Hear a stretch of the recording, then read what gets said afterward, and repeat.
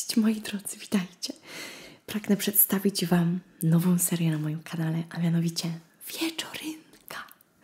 Jak widzicie, mówię takim trochę szeptem, trochę takim półgłosem, a to dlatego, że mój synek już śpi na noc i no tak teraz o tej porze się u nas w domu mówi. Wiecie, to jest taki moment, dzień się skończył, dziecko śpi i jest taki spokój i czas dla siebie. I ja stwierdziłam, że chcę się z Wami podzielić również tą częścią mojego życia, tym właśnie takim chillem, totalnym rzuceniem na luz, gdzie mogę być tak w pełni sobą i skupić się na sobie. Ta seria będzie polegała na tym, że będę właśnie sobie z Wami tutaj tak gadać, trochę tak jak w podcaście Guła Kaduła, który może niewiele z Was, ale może niektórzy pamiętają. Kto pamięta podcast Guła Kaduła, napiszcie w komentarzu. Jak widzicie, jestem w piżamce, mam tutaj ze sobą kakałko. Mm, swoją drogą jest mega pyszne. Jeśli chcecie, to zostawię Wam w opisie przepis, jak robię swoje kakałko i będziecie mogli sobie również je robić i będziemy sobie razem pić to kakałko. I generalnie właśnie chciałabym uzyskać tutaj na tej serii taki klimacik, że trochę tak jak u jakiejś koleżanki znajomej na nosowance. Mamy taką nockę, gdzie sobie po prostu gadamy na różne tematy, takie totalnie luźne. Zawsze marzyło mi się stworzyć właśnie taki klimat na YouTubie, takiego ciepła, takiego cozy. Myślę, że ta seria to będzie właśnie to. Czujcie się swobodnie, wierzcie jakieś koce, poduchy, róbcie to kakao. Siadajcie, leżcie, odprężcie się i pogadajmy. Dzisiaj pogadamy sobie o kompleksach. Będę mówić tutaj głównie o kompleksach z przeszłości jak wiemy, e, największym momentem w życiu, gdy kompleksy są po prostu uff, wypujałe w kosmos, to jest wiek nastoletni i właśnie głównie z tego okresu mojego życia będą to kompleksy. Moim takim kompleksem, pamiętam, z wieku nastoletniego było, była moja sylwetka. I słuchajcie, to jest absurd totalny. I mnie to mega bawi w sumie, no, że to był mój kompleks. Popatrzcie, to jest w ogóle to jest absurd totalny. Totalna aberracja, słuchajcie, więc dobra, muszę Wam zrobić taką trochę dygresję. Jakby z mlekiem matki wystałam miłość do sportu, do aktywności fizycznej. I ja byłam bardzo aktywnym dzieckiem, bardzo aktywną nastolatką. No, chociażby spójrzcie na to tak, że całe życie do szkoły chodziłam pieszo, na piechotę, bo mieliśmy dość blisko, no bo to było takie 15, maks 20 minut piechotą do szkoły, z domu do szkoły. Czasami jeździłam rowerem też i pamiętam, że lubiłam sobie liczyć stoperem czas, e, w jakim jeżdżę tym rowerem do szkoły i próbowałam go z każdym dniem przebić. Pamiętam, że przychodziłam do, przyjeżdżałam właśnie do tej szkoły rowerem i mówiłam koleżanką, jest, udało się, dzisiaj 7 minut, I taka byłam w ogóle wow, podjarana, że w 7 minut przyjechałam do szkoły. Totalnym byłam freakiem sportowym, tylko że to miało swoje minusy. No i właśnie jakby weźcie sobie to pod uwagę, ja bardzo lubiłam treningi, na przykład takie z chodakowską, wtedy to się tak zaczynało robić takie modne, że na YouTube te filmiki takie treningowe i dziewczyny sobie ćwiczyły to i potem na WF wiecie, ja byłam taka, że w ogóle aż mi wstyd, no nie? Teraz. Ale ja byłam taka, że na tym WF-ie, jak z dziewczynami ćwiczyłyśmy i było, żeby zrobić tam, nie wiem, 10 pompek damskich, to ja na przykład wszystkim robiłam męskie pompki i po prostu, wiecie, nie mogłam. I po prostu tak gardziłam tymi damskimi pompkami, że uch, przecież to nic nie daje. I dopiero męska pompka coś daje i w ogóle widać efekty dopiero, nie? No więc o co chodzi? Dlaczego ja miałam kompleksy co do mojej sylwetki? No właśnie o to się rozchodzi. Miałam taką wizję, że sylwetka idealna to jest sylwetka umięśniona. I słuchajcie, najgorsze dla mnie było, jak mi się uda trzęsły, gdy chodziłam. Nie, jakby moja wizja na moją sylwetkę była taka, że nic nie może mi się trząść, bo że mi się trzęsie udo, to świadczy o tym, że ja tam nie mam mięśni, tylko mam tłuszcz i dlatego to się trzęsie, jak chodzę, po prostu jak chodzę. Więc po prostu powiem Wam, że to jest totalny jakiś absurd, e, ale tak, ja w to bardzo wierzyłam. Jak widziałam, że moje uda się trzęsą, to naprawdę to był mój kompleks. To był mój kompleks, że mi się trzęsą uda. i że nie są jeszcze wystarczająco umięśnione, żeby się przestały trząść. Ja, ja to tak widziałam, no nie? Jakby weźcie pod uwagę, że wtedy jeszcze, to było już tam ponad 10 lat temu, nie było takiej świadomości jeszcze, no w ogóle jakiejkolwiek w sumie. E, więc naprawdę to, co sobie człowiek ubzdurał, to w to wierzył. E, oprócz tych trzęsących się ud, bardzo mocno myślałam o tym, żeby wciągać brzuch non-stop. Absolutnie nie mogłam mieć wystającego brzucha. I słuchajcie, ja miałam kaloryfer. Naprawdę, ja w ogóle byłam bardzo chudziutka, malutka, szczuplutka i umięśniona. Ja miałam po prostu wyrysowany kaloryfer, no bo tak naprawdę no nie miałam tej tkanki tłuszczowej takiej, no w ogóle chyba praktycznie, taką minimalną miałam, nie? I ten kaloryfer naprawdę był wyrysowany, ale wiecie, no brzuch jak brzuch. Przychodzi wieczór i się wydyma, wzdyma, nie wiem jak to dobrze ująć, wiecie o co mi chodzi, no po prostu bardziej wystaje. I to jest totalnie normalne. Jeżeli coś zjemy jakiegoś tam specyficznego, to również brzuch nam będzie troszkę wystawał, tak? Jak się opijemy wody, a ja bardzo dużo wypiłam, po prostu piłam hektolitry wody, ja zawsze chodziłam z półtora litrową butelką do szkoły i po prostu wiecie, torba, yy, wiolonczela, bo do szkoły muzycznej chodziłam i butelka z wodą, nie? I tak po prostu szłam. to był mój lifestyle wtedy. Więc wiecie, ten wystający brzuch i non-stop myślałam tylko o tym, żeby wciągać brzuch, żeby absolutnie mi nie wystawał. Po prostu jak sobie pomyślę, ile człowiek wtedy miał w głowie obsesji na punkcie siebie i swojego wyglądu. Ale ja też mam, taka dygresja znowu, taką teorię, że dlaczego w wieku nastoletnim najbardziej mamy kompleksy i tak skupiamy się na sobie. W dorosłym życiu nie spędzamy każdego dnia otoczeni olbrzymią ilością ludzi, prawda? No właśnie, a jako nastolatek dzień w dzień idziesz do miejsca, w którym jest ogrom ludzi, Twoich rówieśników, młodszych, starszych, na korytarzu jest tłum ludzi. I też no ten jeszcze nastoletni mózg, no to po prostu to jest takie kombo, że no nie da się nie fokusować na sobie, no nie? I dzięki Bogu, że to z wiekiem mija. I życzę Wam tego, żeby to też mijało z wiekiem. E, natomiast o czym to ja mówiłam wcześniej? Czy mam dalej ten kompleks sylwetki? Absolutnie nie. I szczerze, najbardziej e, w zaakceptowaniu tego, jak wygląda moje ciało, pomogła mi ciąża. Przede wszystkim chodziłam na wizyty do fizjoterapeutki uroginekologicznej, z którą pracowałam no, nad przygotowaniem się do porodu. I ona mi wtedy powiedziała rzecz, która była dla mnie wtedy totalnym game changerem. Powiedziała mi: Nie trzymaj brzucha. Puść brzuch. Nie wolno go trzymać w ciąży.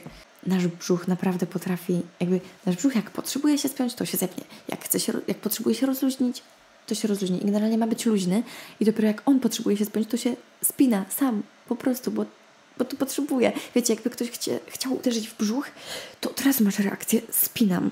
No nie?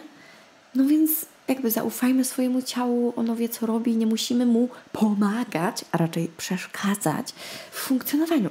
I właśnie zrozumiałam, że tym wciąganiem brzucha, spinaniem brzucha, ja po prostu sobie przeszkadzam. Ja miałam problemy z oddychaniem. W śpiewie też trzeba tutaj mieć mm, dużą kontrolę tych mięśni, tego oddechu ma wciągnięty brzuch, no sorry, ale nie pomaga. Więc to mi bardzo pomogło w tym, żeby puścić brzuch. Sobie cały czas w głowie mówię, puść, puść brzuch. I, I to jest super. Polecam. Naprawdę polecam. I teraz w ogóle, jeśli chodzi o moją sylwetkę, nie mam kompleksów z nią związanych, bo przez to, co przeszłam, czyli przez ciążę, poród, totalnie zmieniło mi się patrzenie na moje ciało. Zobaczyłam, że ma więcej funkcji, więcej y, celów. To, że, że moje ciało stworzyło nowego człowieka i przyniosło go na świat, no po prostu to już jest zupełnie inny level rozumienia i patrzenia na swoje ciało. Ja mam bliznę pod starskim cięciu mam rozstępy, biust mi się zmienia, tak? Bo karmię piersią i kiedyś przestanę karmić piersią, więc znowu będzie wyglądało zupełnie inaczej. Teraz jest taki pełny, a kiedyś będzie taki... Dobra, never mind. I właśnie, wiecie, po prostu przestałam patrzeć na ciało jako takie, musi być takie, takie, takie, tylko bardziej jako takie narzędzie do czynienia dobra i piękna, a nie tylko bycia pięknym. Rozumiecie o co mi chodzi? To jest takie mega deep. Teraz jestem 15 miesięcy po porodzie i bardzo chciałabym wrócić do treningów takich regularnych, no chociażby raz w tygodniu. Bardzo mi się marzy, już nawet obczaiłam na YouTubie jakieś filmiki typowo dla kobiet po cesarskim cięciu, więc już bardzo się zbieram do tego. Ale wiecie co? Po raz pierwszy w życiu podchodzę do treningu i chcę tak podejść jako nie trening, że ja muszę osiągnąć jakąś konkretną sylwetkę, wyglądać w jakiś sposób. Absolutnie nie.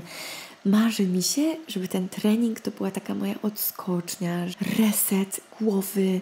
Wiecie, ja bardzo lubiłam taką satysfakcję z takiego wysiłku fizycznego. Mi to bardzo pomagało na głowę. I tego mi brakuje, tego zmęczenia ciała, które daje taki totalny reset dla głowy.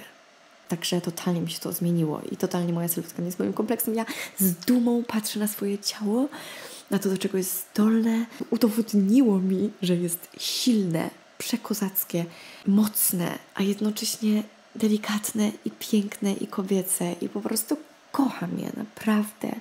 No to jest dla mnie niesamowita metamorfoza. Metamorfoza tutaj, w głowie. Słuchajcie, miałam taki kompleks męskich rąk. Moje ręce są generalnie bardzo duże, takie mam duże dłonie i jak się tak yy, na przykład wykonam jakąś aktywność fizyczną, jakiś wysiłek fizyczny, coś podniosę nawet, czy przeniosę, to wychodzą mi strasznie żyły, mam strasznie wtedy żylaste ręce i po prostu takie mam szerokie te palce, nie takie wąziutkie, smuklutkie, smuklutkie tylko takie właśnie szerokie, takie, po prostu wszystko jest takie szerokie, kwadratowe. A, jeszcze coś. Musiałam mieć zawsze krótkie paznokcie. Nie mogłam sobie ich malować jak y, inne dziewczyny, żeby były takie długie i sobie malować fajnie, żeby tak wysmuklić trochę tą dłoń. Nie mogłam tego zrobić. A dlaczego? Bo grałam na wiolonczeli i wiecie, tu musicie mieć po prostu luz. Tu nie może żadnego paznokcia być. One, musiały być. one musiały być zawsze spiłowane, żeby palec całą swoją powierzchnią tutaj mógł y, na strunie po prostu grać.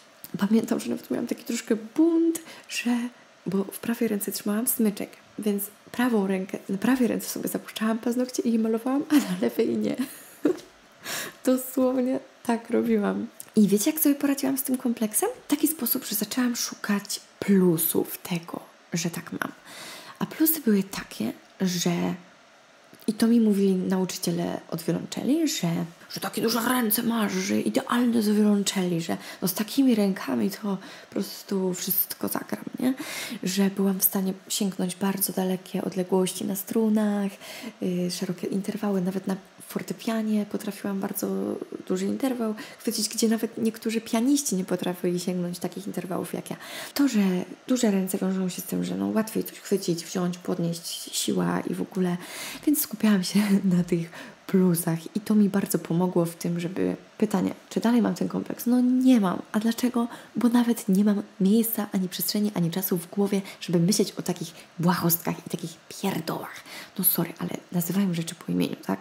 po prostu kto, jaka dorosła osoba ma jeszcze czas i w głowie miejsce na to, żeby myśleć, o ja mam takie męskie dłonie. No nie, słuchajcie, jeżeli słuchają mnie teraz jakieś młode osoby, to zaufajcie mi, że jak będziecie dorośli, to naprawdę nie będziecie się już tak przejmować tym. Znaczy, życzę Wam tego, żebyście mieli tyle fajnych zajęć w życiu, tyle różnych pasji i w ogóle, żeby nie musieć już myśleć o takich głupich rzeczach. Come on, po prostu. No. Słuchajcie, ostatnim kompleksem, z jakim chciałabym się z Wami tutaj podzielić, Uff, to jest takie mocne dla mnie, bo jest niewiele osób, którym to mówiłam, ale chcę o tym powiedzieć. Naprawdę czuję, że to jest ważne, żeby o tym powiedzieć. Zwłaszcza jeżeli słuchają mnie jakieś młode dziewczyny. Miałam kompleks, że nie mam jeszcze okresu. Było mi tak wstyd przyznać się komukolwiek o tym, że jeszcze nie mam i szczerze zdarzało mi się nawet udawać, że mam, bo było mi po prostu tak przykro i tak głupio że do tego stopnia, że jak no, no wszystkie dziewczyny już dostawały, a ja nie, no to tam czasami wymyśliłam, że tak, tak, no teraz okres. Wiecie, o. Dzień, w którym dostałam okres, to był najszczęśliwszy dzień w moim życiu. Naprawdę, no sorry, ale w wieku 16 lat ja już się bałam, że ja po prostu nigdy nie dostanę tego okresu. I w ogóle wiecie, takie myśli, że coś jest ze mną nie tak, że jestem jakaś dziwna, nienormalna, no też nie kobieca. Już jest, wiecie, takie przejście, że jest, stajesz się kobietą.